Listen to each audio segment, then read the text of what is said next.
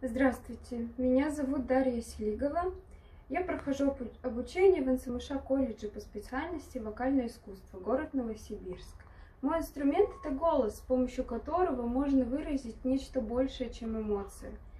Я немного времени занимаюсь академическим вокалом, но нахожу в этом свое истинное предназначение и особую силу. Мечтаю реализоваться в профессии, чтобы вызывать духовное наслаждение у слушателя, учиться у великих мастеров сцены. Хотела бы представить вашему вниманию Моцарт, речитатив и арию Сюзанны из оперы «Свадьба Фигаро».